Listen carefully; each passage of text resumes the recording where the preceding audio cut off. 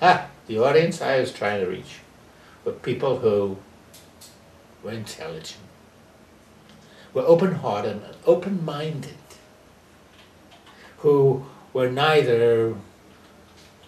willing to dismiss ideas, concepts, and, and,